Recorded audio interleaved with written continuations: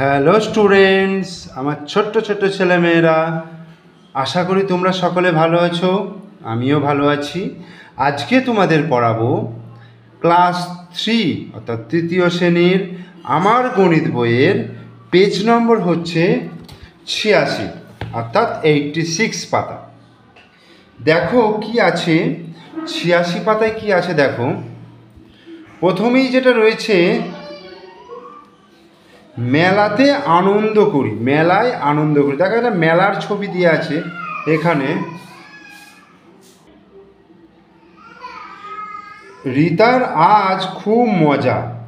সে আজ বন্ধুর সাথে মেলায় যাবে। তার বাড়ি বর্ধমান জেলার আমাদপুর গ্রামে। তার বাবা তাকে পঞ্চাশ টাকার নোট দিয়েছে। তার টাকাটা খুচরো করা দরকার। কী রকম খুচরো দরকার?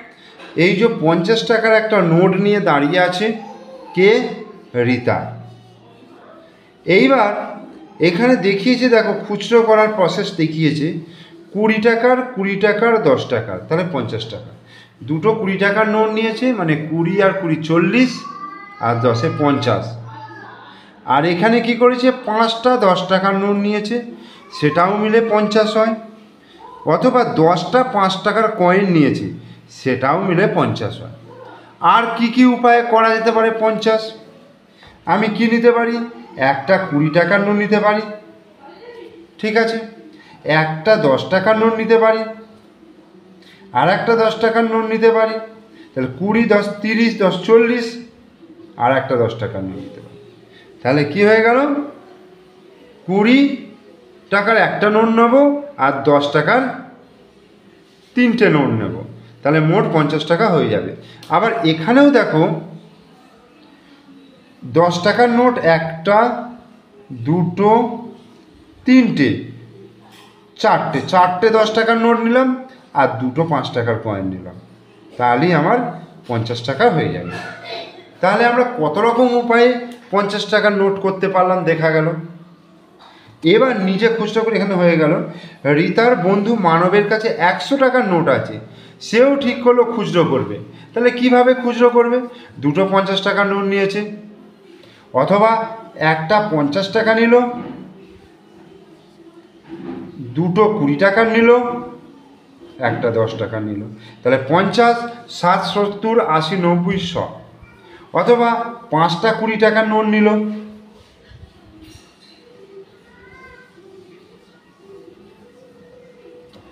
পাঁচটা কুড়ি টাকার নোট নিয়ে একশো টাকা হয়ে গেল। অথবা একটা পঞ্চাশ টাকার নোট নিলাম, দুটো দশ টাকার নোট নিলাম, একটা কুড়ি টাকার নোট নিলাম, আর দুটো পাঁচ টাকার নোট নিলাম, কয়েন নিলাম। তাহলে মোট কত হয়ে গেল? পঞ্চাশ, ষাট, সত্তর, আশি, নব্বই, শ। তাহলে একশো টাকাকে আমরা বিভিন্ন উপায়ে ভাঙাতে পারি। এইবার সাতাশি পাতায় দেখো, বলছে এবার মেলায় রিতা পাঁচ টাকার বাদাম ভাজা, কুড়ি টাকা পঞ্চাশ পয়সার কাঁচের চুড়ি, ও একুশ টাকা পঞ্চাশ পয়সার জিলিপি কিনেছে। কী হয়েছে? এবার মেলায় রিতা পাঁচ টাকার বাদাম ভাজা কিনেছে, কুড়ি টাকা পঞ্চাশ পয়সার কাঁচের চুড়ি, ও একুশ টাকা পঞ্চাশ পয়সার জিলিপি কিনেছে। তাহলে রিতা মোট পাঁচ টাকা, কুড়ি টাকা পঞ্চাশ পয়সা আর একুশ টাকা পঞ্চাশ পয়সা। এই তিনটে মিলিয়ে মোট কত টাকা খরচ করেছে? পঞ্চাশ পঞ্চাশ কত একশো পয়সা আর পাঁচ আর একে ছয় হলো দুই আর দুয়ে চার হলো, তাহলে ছেচল্লিশ টাকা একশো পয়সা। কিন্তু আমরা কি জানি, এক টাকা মানে একশো পয়সা মানে দুটো পঞ্চাশ পয়সা নিয়ে এক টাকা হয়। তাহলে একশো পয়সা। তাহলে এই একশো পয়সা মানে হচ্ছে এক টাকা। তাহলে ছেচল্লিশ আর একে কত? সাতচল্লিশ। তাহলে সাতচল্লিশ টাকা খরচ হয়েছে। মানব দশ টাকা পঞ্চাশ পয়সার বাদাম, পঁচিশ টাকা পঞ্চাশ পয়সার চীনামাটির রবীন্দ্রনাথ ঠাকুর ও বারো টাকা পঞ্চাশ পয়সার দামের একটি বাঁশি কিনেছে। তাহলে মানব মোট কত পয়সা, কত টাকা, কত পয়সা খরচ করেছে? দেখো, দশ টাকা পঞ্চাশ পয়সা, পঁচিশ টাকা পঞ্চাশ পয়সা, আর বারো টাকা পঞ্চাশ পয়সা।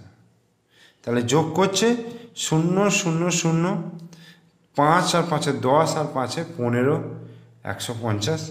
আর এটা পাঁচ আর দুয়ে সাত হলো, আর এক দুই আর একে তিন তিন আর একে চার, সাতচল্লিশ। তাহলে সাতচল্লিশ টাকা, একশো পঞ্চাশ পয়সা।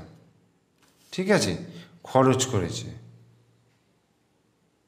তাহলে এইবার দেখো, একশো পয়সায় এক টাকা হয়। তাহলে এখান থেকে যদি একশো পয়সা নিয়ে নিই, তাহলে এখানে একটা বেড়ে যাবে আটচল্লিশ হয়ে যাবে। তাহলে আটচল্লিশ টাকা, এখানে কত পয়সা থাকবে? পঞ্চাশ পয়সা। একশো পয়সা চলে যাচ্ছে। তাহলে পঞ্চাশ পয়সা পড়ে থাকবে। তাহলে বাড়ি ফেরার সময় ওরা দুজনে নাগরদোলায় চড়েছে। প্রত্যেকের আট টাকা করে লেগেছে। দুজনে মোট কত তাহলে হবে? ওরা দুজনে নাগরদোলায় চলেছে, আট টাকা করে লেগেছে, তাহলে আট গুণিত দুই, আট দুগুণে ষোলো টাকা দিয়েছে। এইবার বাবা বাজারে গিয়ে পঞ্চাশ টাকা পঞ্চাশ পয়সার মাছ, কুড়ি টাকার আলু, কুড়ি টাকা পঞ্চাশ পয়সার কাঁচা আনাজ কিনেছেন আমি হিসাব করে দেখি বাবা কত খরচ করেছেন। তাহলে বাবা বাজারে গিয়ে পঞ্চাশ টাকা পঞ্চাশ পয়সার মাছ, কুড়ি টাকার আলু আর কুড়ি টাকা পঞ্চাশ পয়সার কাঁচা আনাজ কিনেছেন। তাহলে আমি হিসাব করে দেখি বাবা কত টাকা খরচ করেছেন। তাহলে মাছ কিনেছে কত? পঞ্চাশ টাকা পঞ্চাশ পয়সা। আলু হচ্ছে কুড়ি টাকা। আর কাঁচা আনাজ কুড়ি টাকা পঞ্চাশ পয়সা। আলু কুড়ি টাকা, শূন্য পয়সা লিখে দিয়ে এটা। তাহলে মোট কত হবে দেখো? শূন্য নেমে গেল, আর পাঁচ আর পাঁচে কত হলো? দশ মানে একশো পয়সা। আর এখানে দেখো, তিনটে শূন্য হলো, পাঁচ, তিনটে শূন্য যোগ করে শূন্য হলো, আর পাঁচ আর দুই, সাত আর দুই, নয়। তাহলে নব্বই টাকা একশো পয়সা। একশো পয়সা মানে হচ্ছে এক টাকা, তাহলে কত হয়ে গেল? নব্বই যুক্ত এক, একানব্বই টাকা খরচ করেছে। ঠিক আছে? এরপরে আমরা চলে আসছি অষ্টআশি পাতায়, দেখো। আমার কাছে আশি টাকা পঞ্চাশ পয়সা আছে, আমি তিন টাকা পঞ্চাশ পয়সার একটি পেন্সিল বারো টাকার খাতা কিনেছি। তাহলে আমি মোট খরচ করেছি কত? খাতা হচ্ছে বারো টাকা, পেন্সিল হচ্ছে তিন টাকা পঞ্চাশ পয়সা। তাহলে যোগ করলাম, মোট খরচ হয়েছে বারো তিন পনেরো পনেরো টাকা পঞ্চাশ পয়সা। কিন্তু আমার কাছে ছিল কত? আশি টাকা, আছে আশি টাকা পঞ্চাশ পয়সা। পনেরো টাকা পঞ্চাশ পয়সা, খরচ হয়ে গেছে। তাহলে পঞ্চাশ থেকে পঞ্চাশ বিয়োগ করলে শূন্য হয়। আশি থেকে পনেরো বিয়োগ করলে পাঁচ, কয় দিতে? দশ, পাঁচ দিতে। হাতে এক, একা রেখে দুই দুই, কয় দিতে? আর ছয় দিতে। তাহলে পঁয়ষট্টি টাকা। এই, পঁয়ষট্টি টাকা আছে আমার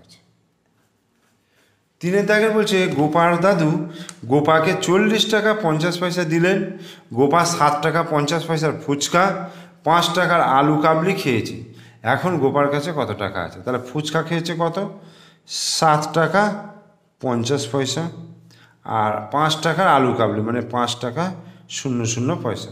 তাহলে কত টাকা খরচ করেছে যোগ করব? শূন্য আর পাঁচ আর শূন্য যোগ করলে পাঁচ, তার মানে পঞ্চাশ পয়সা হচ্ছে। আর সাত আর পাঁচে যোগ করলে বারো। তাহলে গোপার কাছে আছে কত? চল্লিশ টাকা পঞ্চাশ পয়সা। আর খরচা কত হয়েছে? বারো টাকা পঞ্চাশ পয়সা। তাহলে আছে কত? বিয়োগ করে শূন্য শূন্য হলো। দুই কয় দিতে দশ, আট দিতে হাতে এক, একে রেখে দুই দুই কয় দিতে চার, দুই দিতে। তাহলে কত হয়ে গেল? আঠাশ টাকা। তাহলে গোপার কাছে এখনও আছে কত? আঠাশ টাকা। এবার উননব্বই পাতে চলে আসে, দেখো।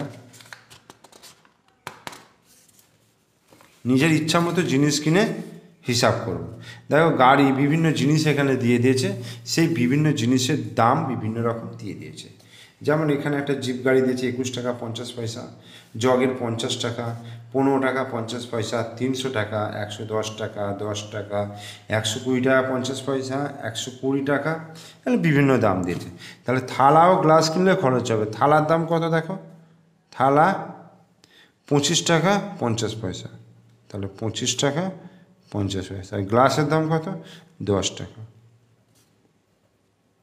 তাহলে শূন্য এই পাঁচ। আর এখানে হচ্ছে পাঁচ আর দুই আর একে তিন। তাহলে পঁয়ত্রিশ টাকা পঞ্চাশ পয়সা। এখানে ঘড়ি আর আমি যে জামা যদি ধরি ধর জামা। তাহলে জামা ও ঘড়ি কিনলে মোট খরচ হবে। জামা কত টাকা? একশো দশ টাকা। শূন্য শূন্য পয়সা। আর ঘড়ির দাম কত? একশো কুড়ি টাকা পঞ্চাশ পয়সা। একশো কুড়ি টাকা পঞ্চাশ পয়সা। এই দুটো যোগ করলে কত হবে? পঞ্চাশ হলো আর এটা শূন্য নামলো, দুই আর একে তিন হলো, এক একে দুই হলো। দুশো তিরিশ টাকা পঞ্চাশ পয়সা। আর এখানে আরেকটা জিনিস ধরো, এখানে আমি একটা লিখছি চিরুনি। চিরুনি নিলাম, আর হচ্ছে ব্যাট নিলাম। ব্যাট কিনলে চিরুনির দাম কত? চিরুনির দাম হচ্ছে তোমার পনেরো টাকা। উপরে আছে দেখ- দেখতে পাচ্ছ, পনেরো টাকা পঞ্চাশ পয়সা। আর ব্যাটের দাম হচ্ছে কত? একশো কুড়ি টাকা। শূন্য শূন্য পয়সা। যোগ করলে হচ্ছে পঞ্চাশ পয়সা, পাঁচ, দুই রেখে তিন, এক। একশো পঁয়ত্রিশ টাকা পঞ্চাশ পয়সা। আর একটা দোকান তৈরি করতে বলছে দোকানে বিভিন্ন রকম জিনিস রাখবে, তার দামগুলো লিখে রাখবে এবং সেটা বিক্রি করছে, সেরকম একটা হিসাব করবে এরকম ঠিক আছে? তাহলে এই ভিডিওতে আমি উননব্বই পাতা পর্যন্ত করে দেখালাম। তোমরা অবশ্যই পুরো ভিডিওটা দেখবে, নাহলে কিন্তু স্কিপ করলে বুঝতে পারবে না। প্রথম থেকে শেষ পর্যন্ত ভিডিওটা দেখবে। আর ভিডিওটা যদি ভালো লাগে, তাহলে অবশ্যই লাইক করবে শেয়ার করবে। আর তোমরা যদি আমার চ্যানেলের নতুন দর্শক হও, তাহলে অবশ্যই চ্যানেলটিকে সাবস্ক্রাইব করে পাশে থাকা বেল আইকন প্রেস করবে, যাতে পরবর্তী ভিডিও নোটিফিকেশনগুলো তোমরা তোমাদের ফোনে পেয়ে যাও। ঠিক আছে? ওকে বাই বাই তোমরা ভালো থেকো, সুস্থ থেকো, স্বাভাবিক থেকো।